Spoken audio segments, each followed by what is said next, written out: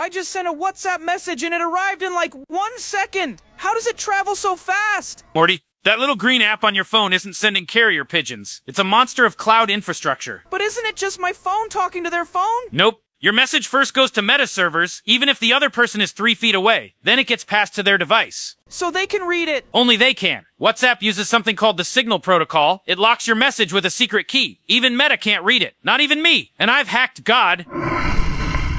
But what if I'm on my laptop too? Or switch phones? Then your message gets copied securely to all your devices using Meta's servers. It syncs everything in the background, real smooth. And what keeps it running so fast? It runs on a language called Erlang, Morty. It's made for apps that need to talk to millions of users without crashing. It's hosted on custom servers running FreeBSD like Linux, but nerdier. So, WhatsApp isn't just chatting, it's full-blown engineering? Exactly. You press send, and a whole army of code moves that message across the planet. Encrypted, delivered, synced, and deleted before you can say, oops, wrong chat. Join the Infratory waitlist link in bio. We explain what the cloud actually does.